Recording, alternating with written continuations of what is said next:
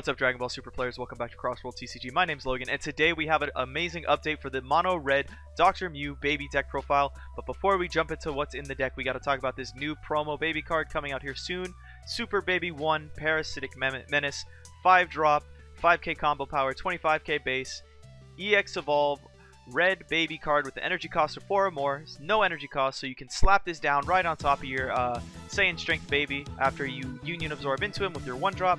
Double Strike, when a card evolves into this card, draw one card, then choose up to one of your opponent's battle cards, gets minus 5k for the duration of the turn, and you can't play Super Baby 1 Parasitic Menace for the duration of the turn. So far, pretty solid effect, but we move into the crazier part of his effect, which is activate main for a single red.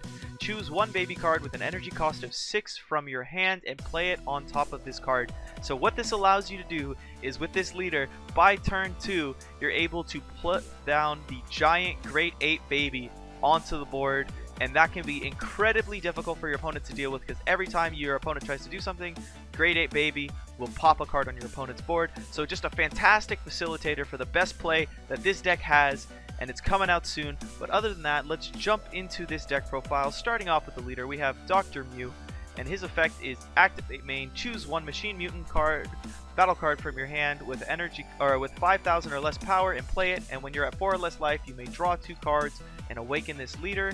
And then on the back side, he turns into Scheming, Dr. Myuu, activate main, choose one Machine Mutant card from your hand uh, with energy with power of 10k or less and play it.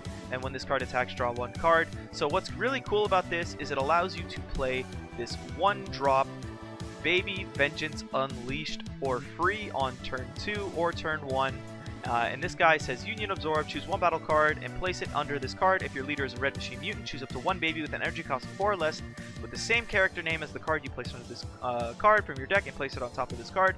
So if by turn 2 you see two baby Vengeance Unleashed, you're able to play one for free with your Dr. Myuu maybe on turn 1 or turn 2, tap another red to play the second copy of it, and then use his effect to Union Absorb. So this is still turn 2, so you still have one red energy up, and that'll evolve into Saiyan Strength Baby. Uh, and it's when this card is, and Saiyan Strength Baby says, Double Strike, it's a 4-drop Double Strike 20k. When you play this card, if your leader is Red Machine Mutant, draw one card, then choose up to one of your opponent's battle cards, lose 20k, so it'll clear a threat when it hits the board. And then after that, you go, uh, you take the 5-drop that we were talking about earlier, this boy right here, and you slap him down for free on top of your Saiyan Strength Baby, and from there you pay the one red energy to evolve up into Epochal Grudge Great Ape Baby. Normal is a triple striking uh, 30k 6 drop on turn 2, which is just absolutely absurd. And what's even better about this guy is when this card attacks or your opponent plays a battle card, so during their turn when they play something, if your leader card is Machine Mutant, which our leader is, draw a card, then choose up to one of your opponent's battle cards and it loses 20k power for the duration of the turn, meaning that anything your opponent plays within the next few turns, if it doesn't have barrier, is basically going to be instantly KO'd, making it very difficult for your opponent to establish any kind of board presence. And from that point on, really, you can just start building up a board with all of your other cards and really go to work. So jumping through the deck, starting back at the beginning, we have two copies of Time Choice Supreme Kai of Time, Overwhelm 3. Uh, when you play this card using Overwhelm, look at the top three cards of your deck. If you do, choose one battle card from among them, add it to your hand, then place the remaining cards at the bottom of your deck in any order. And why we're playing this card is it basically allows us to search for any of these big pieces that we need to make our big power play for the turn, which is really good. Um, and it's also why it's in here. Uh, next Overwhelm card we have is a Scientist Fu, Overwhelm 7 for 1 energy. Double Strike, when you play this card, draw 2 cards. Really, this is just an additional finisher for the deck. One drop, or one drop Double Strikers, man. They're, they're, they're fantastic. Moving on into the baby cards, uh, the next three cards that we have are all playable for free off of our Dr. Myuu effect. We have Dr. Myuu under baby's control, uh, one drop, 5k, auto. When you play this card, look at the top three cards of your deck. Choose one Machine Mutant or other card including Baby among them, add it to your hand, then shuffle your deck. So basically, this is what searches out the entirety of your deck. Almost every card in this deck is a Machine Mutant, and most importantly, it searches for the 1-drop, the 5-drop, and the Epochal Ape Great Baby. So this helps us, like the Times uh, Times Choice Supreme Kai, helps us finish our Baby combo, and it's also also playable for free off of our Leader effect, which is really cool. Moving on, um, I was talking, me and my buddy Josh were crafting this deck together, and we decided that uh, it'd be really cool since we're already playing very low to the ground with the baby coming out for basically 2 energy, that we would play this very swarmy engine uh, of the Super Sigma cards. So starting off, we have the 4 of 1 drop Mega Cannon Simba, uh, Sigma Nat, and what this guy does is when he's put into play, if your leader is Dr. Myuu, choose up to one Bizu from your deck and add it to your hand. And then we're playing three Bizu. Um, we cut down from three, four to three for Bizu because Nat is playable for free, which gets us Bizu. But when you play your Bizu, Bizu gets your Rivet, and then Rivet gets your Nezi, and then Nezi's effect gets you another copy of Nat. Um, and then the, also, uh, Commander Nezi also has this other effect. He's a 3-drop 15k. Union Absorb, choose one each of Bizu and Rivet from your hand or battle area. Place them under this card. Choose one Super Sigma from your deck. Place it on top of this card. And then uh, auto when you play this card. And then, like I said, he searches the Nat. And then moving on to Triple Union Super Sigma. This card is really cool. It's basically cheated out for a lower cost because of Nezi, but it also has very high impact. It's a double strike, uh, 4 drop, double strike 20k and uh, after you swing with it, you can place, or after you swing with it, you can use its activate main effect to place it from the, uh, place it in your drop area, draw two cards, then choose up to one of your opponent's battle cards, and it loses 10k power for the duration of the turn.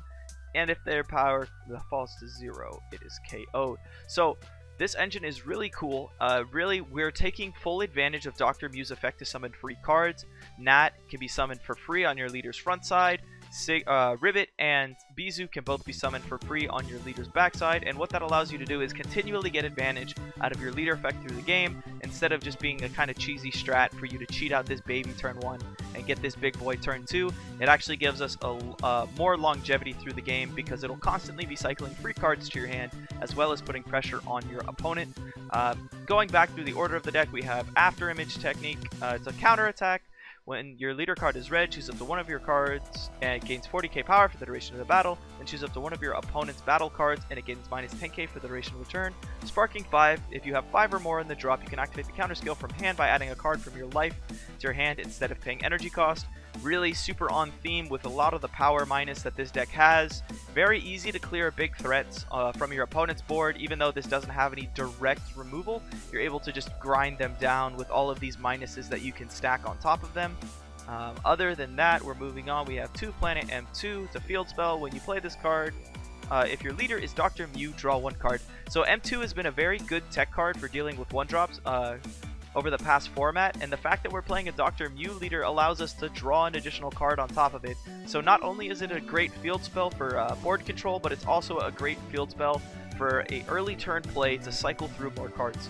Uh, continuing on, we have four copies of our super combo Handichiro uh, Ziru. It's searchable off of Dr. Myuu, uh, which makes it the ideal super combo for this deck.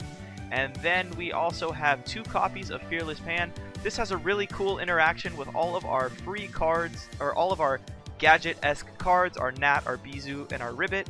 Um, when this card comes into play, it's a blocker barrier, uh, you choose all of your other red leader cards and battle cards that gain plus 5k and double strike for the duration of the turn. So what's really cool about this is that you get to play all of these guys essentially for free with your leader effect, and then if you drop a Fearless Pan, you can give your whole board double strike and you're basically cheating these out for low cost anyways. So it's really easy way to put on a ton of double strike pressure. And then on top of that we're also playing the baby package to just force your opponent to lose tons of cards and really not be able to keep pace with you. And so uh, Fearless Pan is in here to give us that winning edge with all of the free cards that we generated and overall, I think this deck is very well situated for itself. It has a lot of synergy with itself, honestly. Um, the fact that you get to have an early game like Big Bomb that can put on a ton of pressure, and then from there on, you can just control the board and slowly build up these free things, slowly take away your opponent's cards. And every single card in this deck almost replaces itself.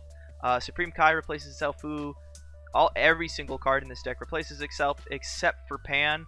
Uh, which is really fantastic. I mean, really, it's a really solid tempo deck. Um, really takes a full advantage of, I think, all of the baby cards that we got right now. The biggest downside is that we can't play Revenge Death Ball with this leader, but the fact that we get to play the Super Sigma line, I think, kind of makes up for that.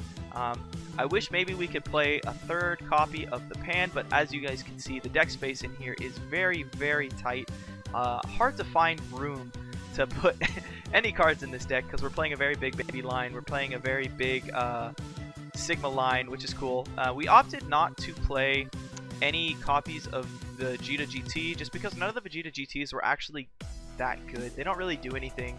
Um, so we just figured that playing cards that would actually replace themselves and do things proactively throughout the game were just a better option. Um, and if there are times where you see the baby turn 2, that's fantastic. And if you have to play it turns 3 or 4, that's also really good because it doesn't take much to evolve up into it. It barely takes any energy. Like it's a 2 energy play, which is just actually insane um, for the amount of pressure that it can put on. Especially since every time your cards come out, they're going to be drawing cards. Uh, like this guy down here, or the the, the Super Baby 1 Parasitic Menace draws a card, your uh, Begrudgel Baby draws a card. Um, like they just all put on a ton of pressure and allow you to do things that I think previous versions of Baby struggled with. Like it was, it's really cool seeing this list come together so well because before it feel it felt like Baby had a little bit of an identity crisis. Like Great Ape Baby is such a late turn play that it felt weird playing it with the Dr. Myuu leader, which is a very strong swarm leader, because it allows you to put all these things on the board for free. But the fact that we now have a way to lower our curve to the point where we can just put on massive amounts of pressure, turns 2, 3, 4, just I think really, really rounds out this list nicely. Um, and again, all thanks to this boy right here, Super Baby 1, the Parasitic Menace. Let me know what you guys think about this deck down in the comments below. If you guys haven't subscribed already, consider giving us a subscribe. Like the video if you liked it. And uh, tell me what you guys think of this new baby card. I mean, I think there's also other cool builds that you can do with like uh, baby Vegeta leader and he generates a little bit more advantage than this Dr. Myuu.